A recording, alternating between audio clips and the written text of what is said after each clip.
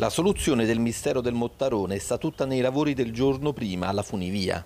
Infatti sabato 22 maggio la linea è stata ferma per mezz'ora circa perché c'erano dei problemi di funzionamento e la Procura ha deciso di sentire i tecnici a partire da quello che è accaduto sabato e nello stesso tempo visionare tutti i filmati riguardanti gli interventi sulla linea.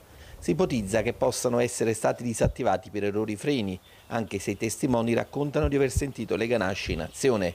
Nelle registrazioni si vede chiaramente il momento in cui la cabina si ferma e comincia a correre a marcia indietro a circa 100 km orari a due passi dall'arrivo. Quello che abbiamo potuto vedere e, e capire è che non c'è stato un evento solo, ce ne sono stati almeno due e questo è quello che ha causato la tragedia perché sugli impianti a fune normalmente ogni evento viene previsto e ha una sua forma di sicurezza.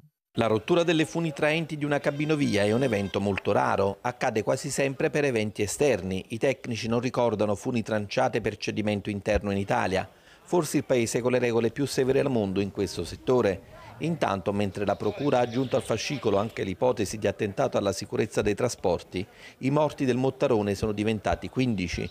Un operatore televisivo che stava eseguendo delle riprese sul luogo della tragedia ha avuto un malore ed è deceduto. Invece il piccolo sopravvissuto alla caduta dovrebbe svegliarsi domani. Il risveglio è partito e eh, in questo momento eh, la risposta del bambino è positiva, comincia ad avere i primi segnali di risveglio, quindi con colpi di tosse ed alcuni momenti di respiro spontaneo, ma in termini precauzionali stiamo andando con molta più calma e più attenzione proprio perché la situazione clinica del bambino è critica